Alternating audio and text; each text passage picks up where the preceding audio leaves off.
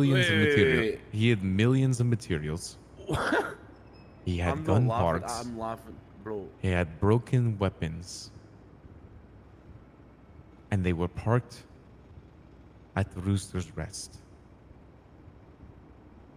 Do you understand, Tony? Oh, I mean, I think me and you both, you know, Yes. I understand. You know what I'm saying? Um. Yeah. Yeah. Uh, I don't know, man. That fucks over a lot of people. You know, I'd never. Listen, I'd, ne- I'd never.